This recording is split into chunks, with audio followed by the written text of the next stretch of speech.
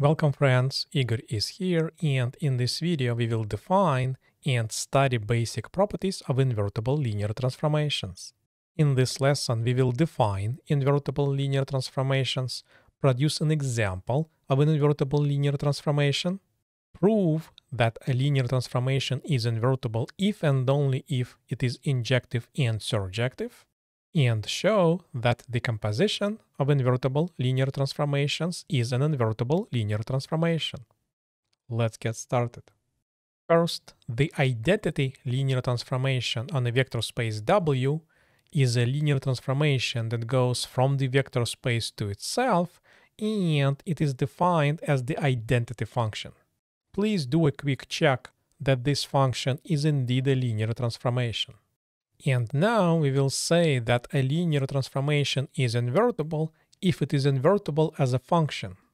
In other words, if T is a linear transformation that goes from the vector space U to the vector space V, then it is invertible as long as there exists a function S that goes in the opposite direction from the vector space V to the vector space U such that S is an inverse function for T. This means S composed with T is the identity function on the vector space U and T composed with S is the identity function on the vector space V. Writing out the compositions and the property of the identity function, we see that the meaning of the inverse linear transformation is that it undoes the effect of the original linear transformation. Notice one caveat in the definition of the invertible linear transformation, we do not require that the inverse function s be a linear transformation.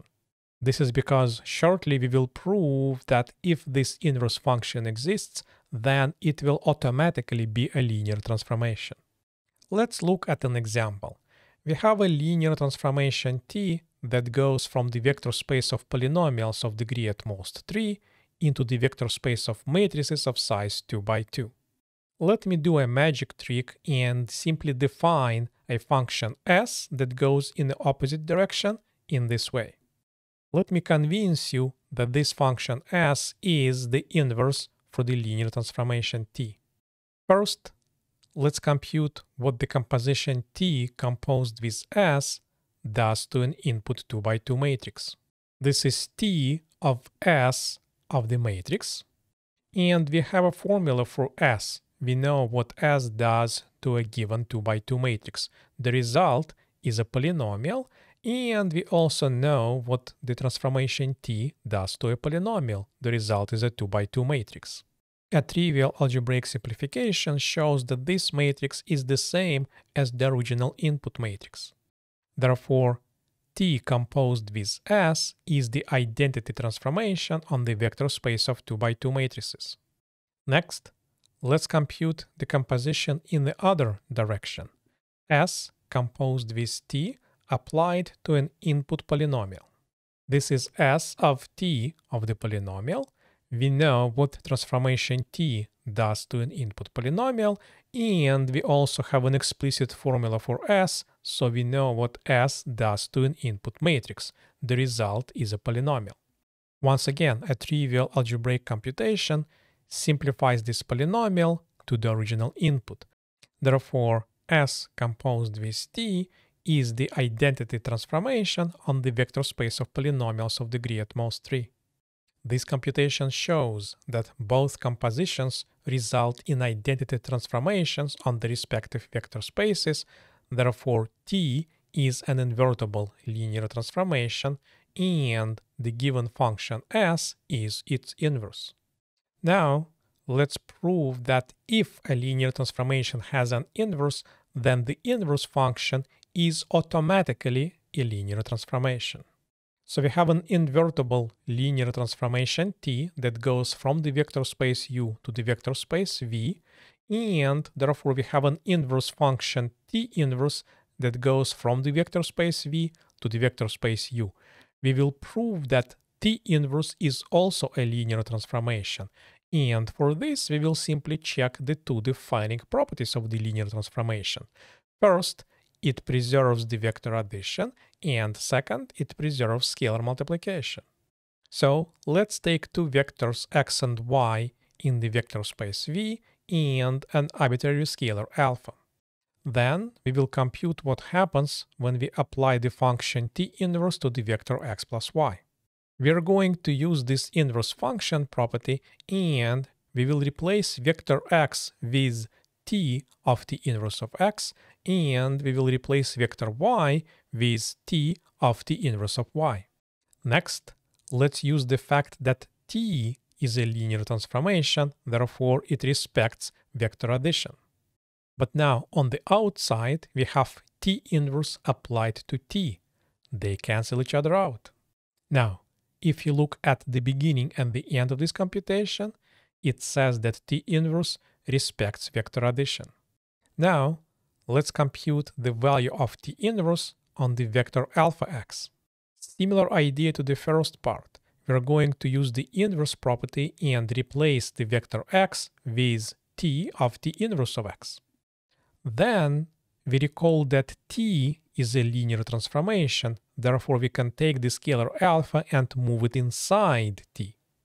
But then t inverse and t on the outside cancel each other out. And this computation shows that t inverse respects scalar multiplication.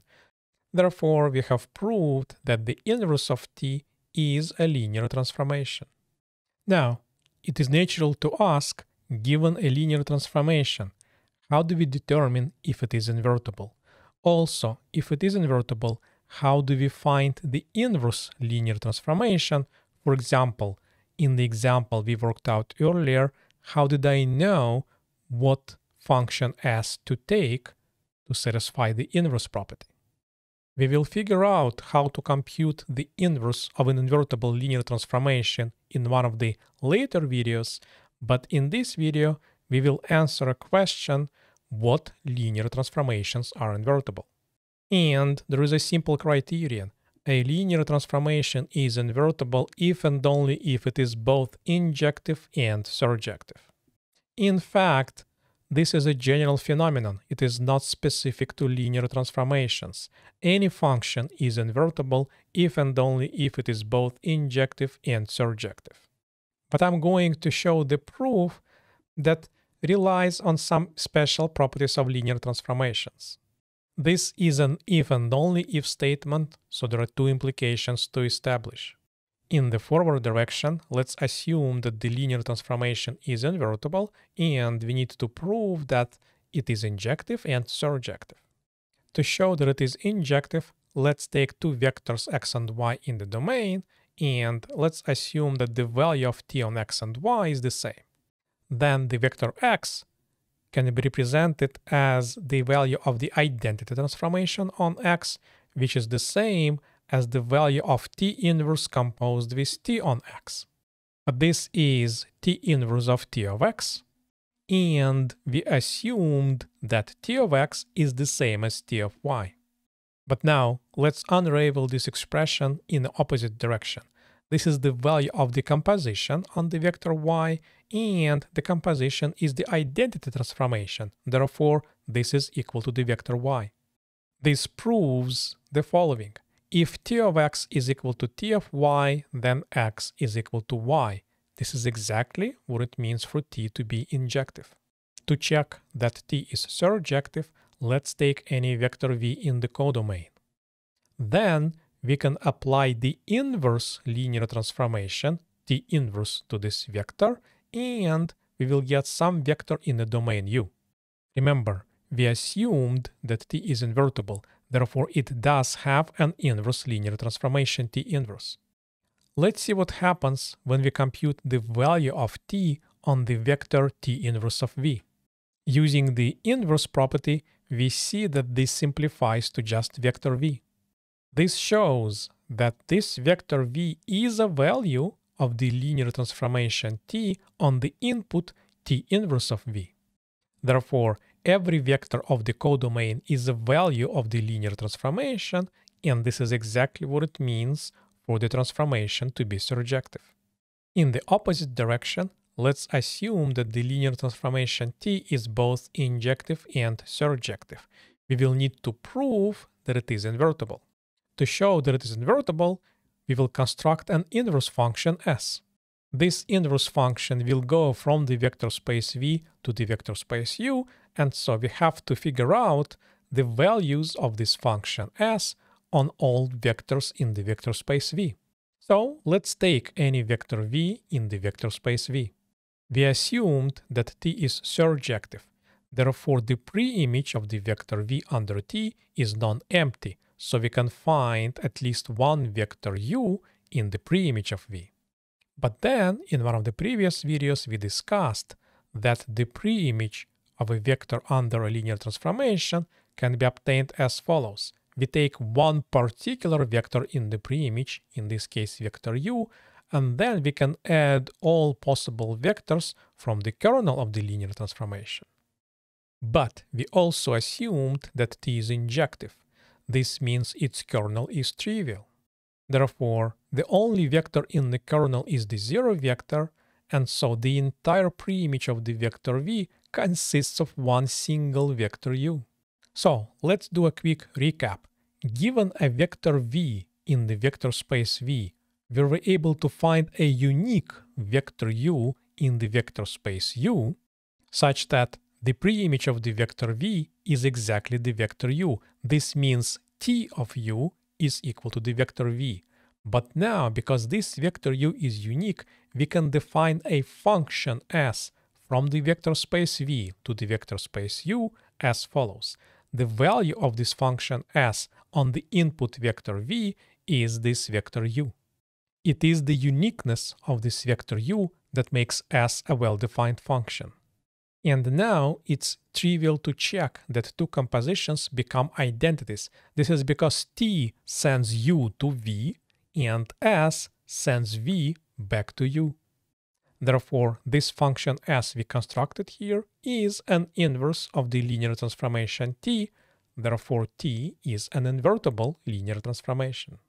Next, let's prove that the inverse of an invertible linear transformation is an invertible linear transformation itself, and the inverse of the inverse is the original linear transformation.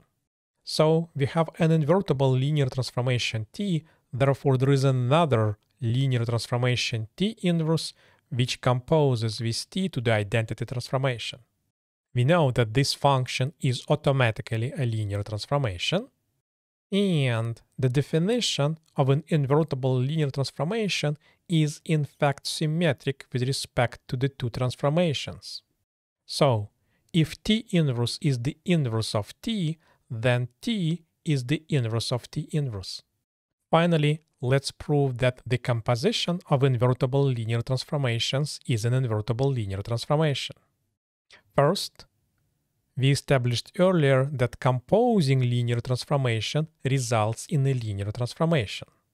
Also, if S and T are invertible, then they're both injective and surjective.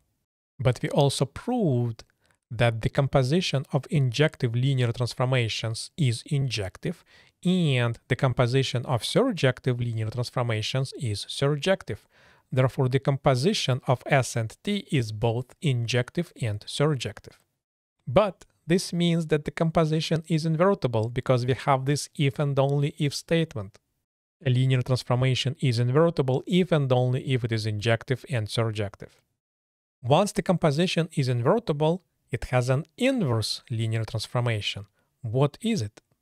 The next theorem says that the inverse of the composition of the linear transformations is the composition of their inverses but written in the opposite order. Do you remember a similar result we proved for matrices? That if you take two invertible matrices, then their product is invertible and the inverse of the product of matrices is the product of their inverses written in opposite order. Do you think it's a coincidence that there are so many similarities between the composition of linear transformations and multiplication of matrices. If you found this video useful, please give it a like to help others discover this content and subscribe to this channel to see more of these videos. In the next video in this series, we will talk about the isomorphism of vector spaces. I will see you later.